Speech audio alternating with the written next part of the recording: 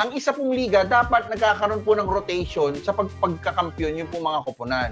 No? For example, San Miguel, tatanda, papalit ang rain or shine, mas magpapalakas yung San Miguel, kukuha ng mga bata, and then after ng rain or shine, sisingit naman po ang uh, Phoenix, etc. etc. But ito, hindi po nangyayari ito nasa PBA. May rotation po na nagaganap among San Miguel teams. Buti nga po, nakapasok na ho itong token text. But then again, nung nakapasok po itong token text, biglang nagbalasa na naman po yung San Miguel. No? So ito, sana matapos sa ito. No, it's about time that the PBA should look at the welfare of the league no before themselves. Kasi andyan eh, lalakas na mga koponan ninyo eh. 'Di ba? It's about time na tignan naman natin yung liga. 'Di ba? The more na nakasadlak po yung Blackwater, the more na laging talo po yung Terra Firma, the more na hindi ho nakakasabay yung Rain or Shine, nahihirapan kumuha ng talent, na yung mga katulad po ng dating uh, tough teams na katulad ng Alaska, eh the more na lalay-lay at mawawalan po ng viewer ito pong PBA.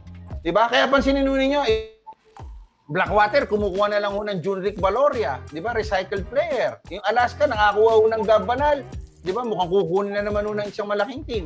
So hindi ho yan yung ano, hindi ho yan yung tamang direksyon ng liga. Diba? The more na palakasin natin yung mga teams, lahat ng mga teams, lalakas din po yung followership ulit po ng liga.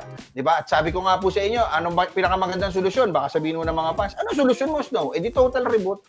Diba? So, siguro, may mga challenge na ho ngayon coming from B-League, tapos pwedeng uh, Korea and China, di ba, Boss Do? Tapos po pwedeng yung suggestion mo na, na sa Middle East, papasok na yung PBA dapat mag-restart na lang eh. Mag-total restart po sila eh. Di ba? All teams should maintain at least five players each. Tapos inilagay nila sa dispersal draft lahat ng mga players. Magsimula po tayo sa lahat. That way, Terra Firma, Blackwater, lalakas din po.